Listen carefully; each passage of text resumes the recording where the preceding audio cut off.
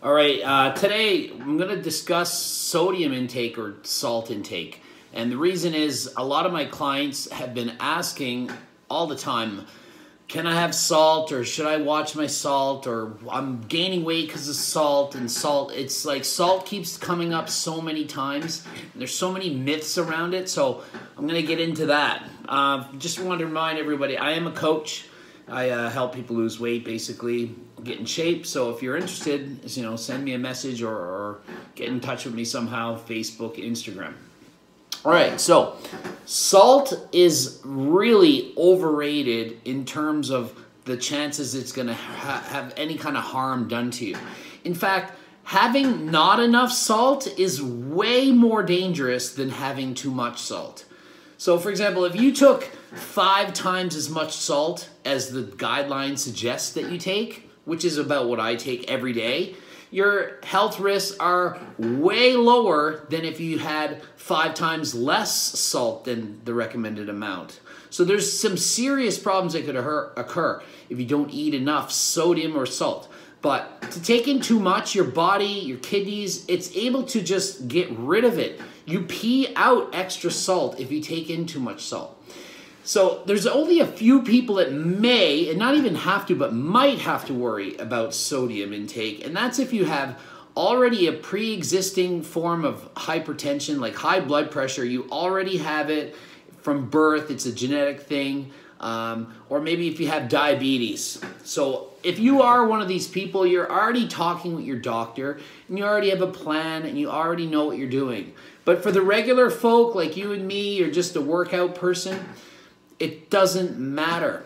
Okay? So the reason why salt or sodium they, kind of have this myth that it's going to like kill you is because it potentially people say it's going to increase your blood pressure and blood pressure is like a huge huge risk indicator for dying, okay? If you have high blood pressure, it's not good, okay? You want to have normal blood pressure. So if it's high, that is bad luck and you need to do things to lower it. Um, salt is not something that's really going to push that up. I mean, we're talking about one or two. Like, say you're 130 over 80 and you have a lot of salt and it's 132 over 80. It's not like wow, it went way up. It's not steroids, okay? Sodium is not gonna like potentially kill you or give you some freak hard high blood pressure. It's just not that bad. What really messes up your blood pressure is gaining too much weight, okay? If you gain a lot of weight, you put on 20 pounds. I don't care if it's fat, like water, whatever. If you gain a lot of weight, it's not good for you. So those of you with high blood pressure, the first thing you should be trying to do is lose weight. Okay, lose weight. Don't worry about salt so much. Okay, uh, let's see. I wrote a few notes. So just basically, what what does it benefit us? Salt.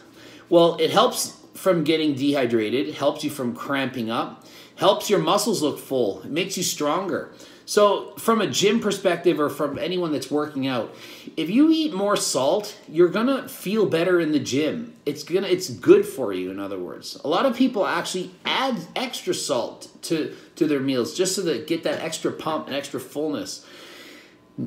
If you ever do a show and you sodium deplete like I have done, like you try to dry out and you cut your salt, you're gonna feel like super like weird. Like your body is really just ugh, it just has no strength. It feels like you feel all your tendons and you're you're so dehydrated and you don't feel good and your strength is down you could get injured. So people that are trying to like eat no salt all the time this is a bad idea. You're gonna lose that size strength endurance You get more cramps you're just not gonna feel good it's not good for you you need a certain amount of salt so to eat at least two grams of sodium, like 2,000 milligrams, would be like a minimum. I mean, a normal amount would probably be three to four grams a day. Uh, you're supposed to take, according to the like the government, for example, whatever, 2,300. But if you take in 10,000, it's not a big deal. I have often go over that, so it's not a, it's not going to cause a, a serious problem. Um, okay. Oh, salt from the salt shaker versus in your food. It doesn't matter how you're getting your salt. Salt is salt. people make a big deal out of this salt or that salt or oh, I don't ever use the tables. I put a ton of sugar-free ketchup on my food. I use a ton of condiments like mustards and salad dressings. My sodium intake from the condiments I add on my food is insane. It's ridiculous. Like I probably eat like 500 calories a day from just junk like mustard and ketchup. Seriously, it's not good for me. It's not like, oh yeah, I'm eating that for my health, but I have a normal, balanced, healthy, overall good diet. I don't need to get stressed out about the tablespoons of ketchup that I'm putting on my whatever food I'm going to eat. And things like vegetables. If it's in a can, it's going to have a lot of salt. Anything in a can has a ton of salt.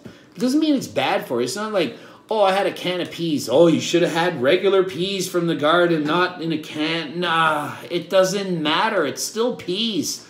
Like, it's not a big deal. You put the bouillon stuff to make your rice like I do, tons of salt. I'm adding thousands of milligrams in that pot, and it doesn't matter. So really, don't worry about it. Okay. Well, I guess I can end it there. Just overall, just to sum up, don't worry about how much salt you're eating. Eat as much of it as you want. You're not going to die from it. It's not going to cause some serious blood pressure problem. And just enjoy. It doesn't have calories. It's not going to make you fat.